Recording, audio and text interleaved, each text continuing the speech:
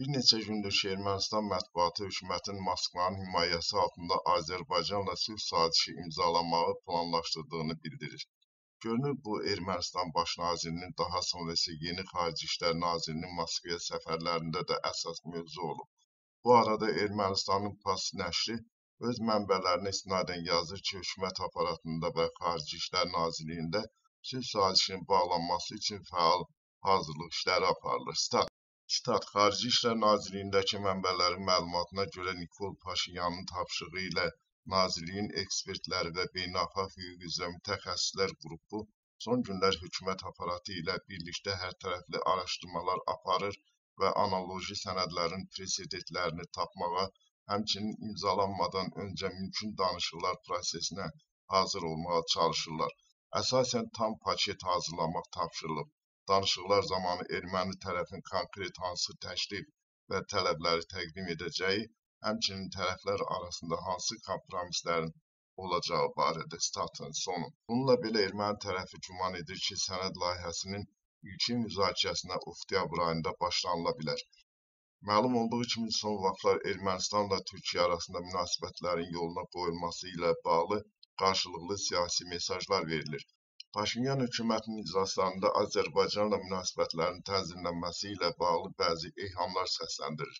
Bu baxımdan Ermənistanın sülh sazişinə hazırlığı barədə deyilənləri bəs ekspertlər nə dərəcədə real hesab edirlər?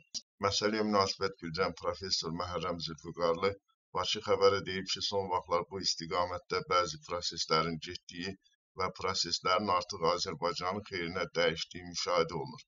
Məsələn, bu gün mətbuatda Qazaxın Ətşipara kəndində bayraq asmaq üçün dirəyin qoyulduğu barədə informasiyalar yayılıb.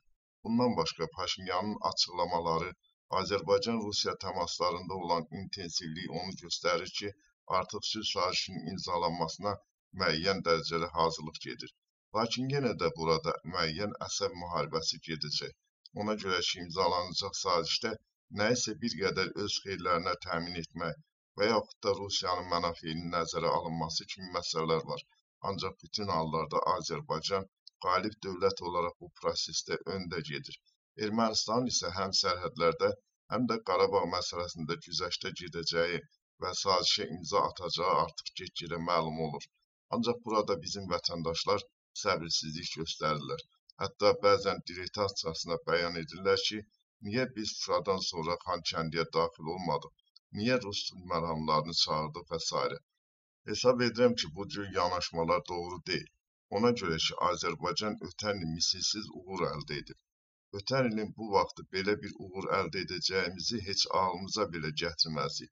Ancaq bir ildən sonra bu cür böyük dəyişikliklər və indi də Ermənistanın sülh müqaviləsinə hazır olması ilə bağlı yayılan informasiyalar onu göstərir ki, Azərbaycan öz uğurlarını daha da artırıb. Bu baxımdan da hesab edirəm ki, müsbət gözləntilər var.